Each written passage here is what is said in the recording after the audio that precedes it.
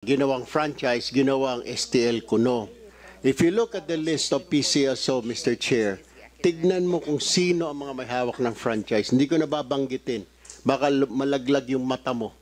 Eh kasi, basta nakatanggap kayo ng pera, kahit sa illegal yan, tatanggapin namin. That's it? Yes or no? Sorry po, hindi na namin alam na illegal. Basta po sila Yun na nga eh, ay hindi nyo alam na STL illegal eh. agent namin.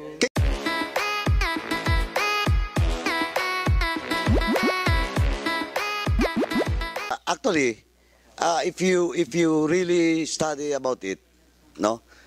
Kung parang kabuti na naglilipa na yung mga yung mga so-called betting station, problema talaga yan ng PCSO at saka ng local government. Because unless otherwise, they have the permit from the local government, pwede sila mag-operate. Di ba PCSO tama? They have to get a permit from the local government. For a betting station, ha? For a betting station. Bale po, PCSO yung nag-approve ng station ng. And they, but they have to get, they have to get a permit. Di ba? Sa local government? Meron Ah, po kayong, Hindi mo alam?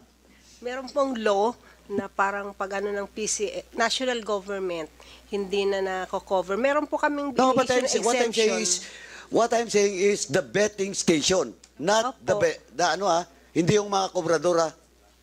Opo, kasi po, so, do you don't- bale, so you are saying this committee, in this committee that uh, because there is a franchise coming from the PCSO, though all those betting stations don't need to have a permit from the LGU?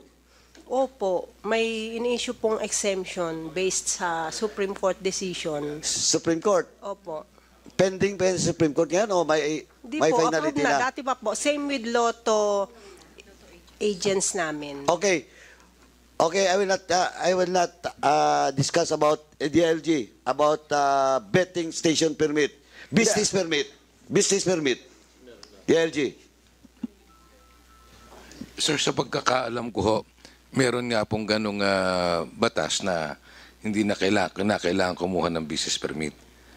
Business permit? Ho, however ho, yung ho na-observe namin na yun ho na-observe namin, hindi ho mismo yung business permit ang binabayaran, kundi yung mga ibang sanitary permit etc. Yun yung hina- hinahanap ng ibang munisipyo. Ah, Congressman Paduano, if I may, no, para hindi tayo, no, ah, ito susugan ko lang sa iyo. Medyo naligaw na tayo doon eh. Ah, yung sa permit, okay. Kasi ah, we have discussed that. ah. I remember, tama si Congressman Akop, when we were ah, together with Congressman ah, Danny Suarez during that time, we have discussed that lengthily. Eh. And ah, we were able to find out that the franchise that being ah, issued by the PCSO does not need no yung sa local government no and uh, we subscribe on that yung mga station betting station natin na nakalagay allowed yan but ito yung tinatanong ko kanina pa eh from the moment na tumaya na yung tao nakuha na nila yung mga taya ililipat na nila to ngayon sa estasyon do sa sa anong pa tawag doon parang ponduhan para anong tawag doon meron silang tinatawag na pinaka-station doon na nila dadalhin yung pera eh noong mga nakakubra eh ang nangyayari dyan, doon nangyayari yung pagbibiyak eh. Na nilalagay nila sa legal, saka nilalagay sa illegal. Ang tanong, sa ganitong klase ng problema, na kung saan dito, alam mo, dito tayo na, dito kayo nananakawan ng bilyon-bilyon, eh. Ha? Mayroon pong guaranteed monthly retail receipts yung aming STL. Ano, merong ano? Guaranteed monthly retail receipts. Oh, na, yan. Yan yung napag-usapan natin sa committee on, uh, ano, kumbaga, nakaasa kayo doon sa monthly na binibigay. So, Opo. hindi nyo na tinitignan kung ginagawang illegal o legal yung pinapasok na pera as long as nag-guaranteed kayo sa perang matatanggap nyo. That's it and that's all. Ay, naku po. Mr. Chairman, Mr. Chairman, Asan ang moral fiber nyo? PCSO. Sir, siguro, baka sa law Ha? enforcement Pati di nyo agency na tulungan po yung ating mga siguro. PNP.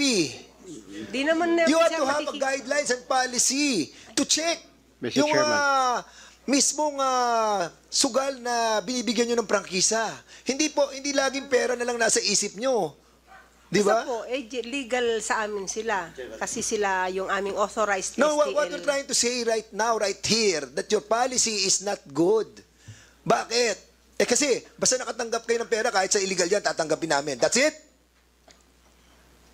Yes or no? Sorry po, hindi na namin alam na illegal. Basta po Yun sila na nga eh, ay hindi nyo alam na STL illegal eh. agent namin. Can you kindly, uh, in- uh, Mr. Chair, invite natin yung ano, sinong PCSO chairman ngayon? Chairman, Juni Kuwa po. Si Mel Robles? Sige, we'll be inviting them over to find out the uh, policy regarding din sa binibigay na pera na hindi kahit na sa manggaling yung binibigay as long as the natanggap na nila that's it and that's all. Di ba? It's confirmed, no? Nako-confirm na natin that uh, yung kinukuha sa mga betting station ay binibiyak at dinadala sa illegal. At sino ang mga nagdadala sa illegal? Chairman. Yan ang mga tanong eh. At ah, now I realize that really, yung pinag-uusapan namin kanina ni Congressman Acop, from the betting station, which is allowed by the PCSO, and because the policy of the PCSO is kahit sa legal yan at illegal, tanggapin natin, di ba? At pagkatapos, pagdating ng mga kinubra nila, doon nila hinahati. And now it is being confirmed by the, uh, you are from NBI. Yes, sir. From, from NBI. Chairman. So, okay. So, question, uh, Congressman Paduano, if I may, no? Why did you come out with that kind of policy wherein all the operators of the, uh, ano ba yan, STL, ay uh, binibigyan nyo sila ng uh, parang mandato na sa loob ng isang buwan, kailangan ito ibibigay nyo sa amin. And we know, we we don't care kung ito yung nanggaling sa legal o illegal. Why do you have to come out with that kind of policy? Ako sa tingin ko yung policy niyan, ano eh, bulok yan. Di ba para bang sinabi mo, ito bibigay mo sa akin, kahit kunin mo yan sa illegal, wala akong pakialam, as long as binibigyan mo kami. How did you come out with that kind of policy? Mr. PCSO. Sir, bali po sa operations kami, pwede pong sumagot siguro yung STL core group namin. Sila Hindi, po tanong ko nung- sa iyo, paano kayo nag-come out sa ganyang policy? Sino ang gumawa ng policy niyan? on- Kailan ginawa ang policy niyan? Dati pa po, nung since the start po, based on the voting population, Si, panahon nino? Yung 2006 pa po, 2006 Nung- nung ganyan na? nung nag-start Nagbibigay po. na sila talaga ng ah, ganitong klase ng ano? opo. Oh my goodness. Mr. Chair, Congressman Erwin Tulfo, then Congressman ah, Gomez. Mr. Chair, yun po kasi yung dikta ng mga may hawak ng franchise. If you remember, kasagsaga ng wedding, gusto nating illegalize ang wedding. So, ang nangyari doon, ah, ginawang franchise, ginawang STL Kuno. If you look at the list of PCSO, Mr. Chair, tignan mo kung sino ang mga may hawak ng franchise. Hindi ko nababanggitin. Baka malaglag yung mata mo.